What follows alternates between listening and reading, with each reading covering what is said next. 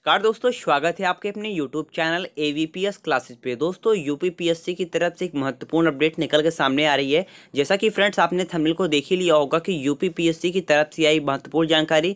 तो ऐसी कौन सी महत्वपूर्ण जानकारी आई है तो आप लोग के लिए जानना बहुत ज़रूरी है। तो आप लोग वीडियो को लास्ट तक ज़रूर देखेगा सारी जानकारी आपको बिल्कुल डिटेल के साथ देने वाले हैं। लेकिन दोस्तों, उससे पहले अभी तक आपने चैनल को सब्सक्राइब नहीं किया है तो प्लीज़ चैनल को सब्सक्राइब कर ले और साथ में बेलाइकन को भी प्रेस कर ले, ताकि इसी प्रकार से आपको यूपीपीएससी की जुड़ी जो भी अपडेट आए, अपने चैनल से मिलती रहे। तो आप लोग चैनल को सब्सक्राइब करके बेल आइकन को प्रेस कर लीजिएगा। तो चलिए आपका टाइम नहीं वेस्ट करते सीधे टॉपिक लिए चलते हैं।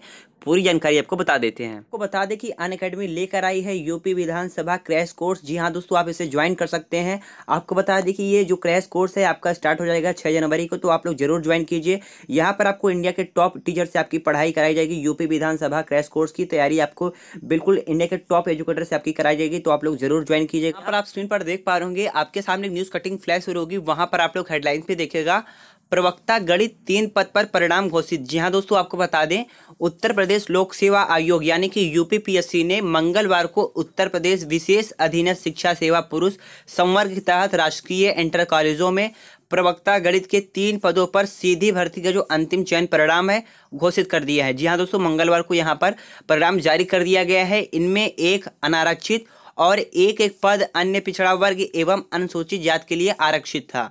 और चयनितों में ऋषिपाल कन्हैया, लाल पांडे एवं कृष्णचंद्र साहू के नाम शामिल थे। लोक सेवा आयोग ने मंगलवार को प्रवक्ता गणित के तीन पदों का परिणाम घोषित कर दिया है। तो ये बड़ी अपडेट आप लोग के लिए निकल के आ रही थी उत्तर प्रदेश लोक सेवा आयोग, यानी कि यूपीपीएससी की तरफ़ से। तो यहाँ पर मैंने आपको जानकारी बता दी है। दोस्तों, उम्मीद करता हूँ आपको जानकारी पसंद आई है। अगर आपको जानकारी पसंद आई है तो प्लीज़ वीडियो को लाइक करें। और अभी तक आपने चैनल को सब्सक्राइब नहीं किया तो प्लीज़ चैनल को सब्सक्राइब कर ले, ताकि इसी प्रकार से यूपीपीएससी से जुड़ी जो भी अपडेट आए, अपने चैनल से मिलती रहे तो आप लोग चैनल को ज़रूर सब्सक्राइब कर लीजिए। एक और नई अपडेट के साथ अपना ख्याल रखिएगा और आप सभी ने वीडियो को देखा है। इसके लिए बहुत बहुत धन्यवाद।